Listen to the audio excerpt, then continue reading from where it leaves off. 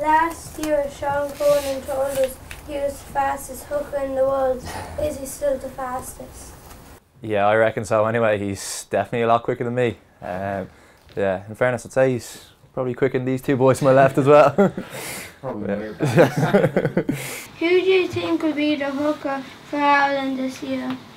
Um, there's a couple of uh, great options, but like can't go past Sean Cronin or uh, like even in Leinster alone, there's James Tracy, Bryan Byrne as well. Like so, like I'd be hopeful that one of the hookers in Leinster might get a shot.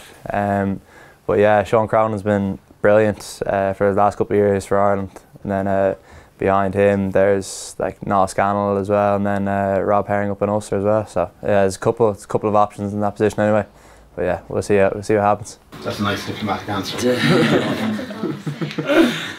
Everybody will be happy with that one.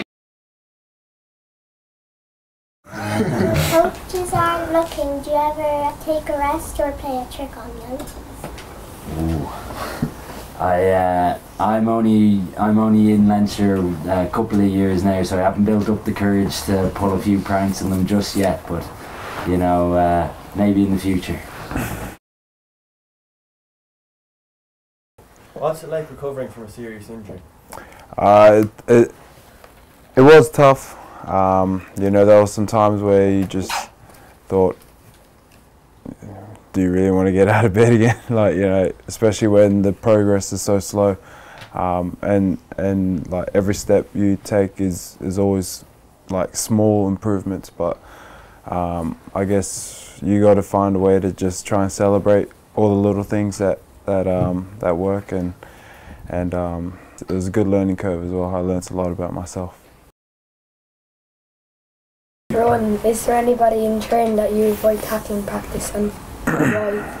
Uh, yeah, there'll be a few of them. Uh, a few of the big boys anyway. Uh, the likes of uh, the likes of Lowy and stuff. Uh, just big, big man who can shift. Like very difficult to tackle him. And then uh, a few other of the back rowers in particular as well. Yeah, wouldn't like tackling. Brennan, uh, did you always want to be a rugby player or is this just a backup job? Uh, no, I always wanted to be a rugby player. Um, growing up, uh, just when I started playing, I started playing when I was four and just loved it, and then decided like this is what I wanted to do, and then just worked hard trying to get there. Joe, Leinster have a huge squad of talented players. Do you ever get annoyed with the coaches when you're not selected? Nah, never get annoyed. I, I'm, I'm a little bit older than everyone else now, so I sort of appreciate um, the rest. Ron Hugo, were you on any Leinster development squads as you grew up?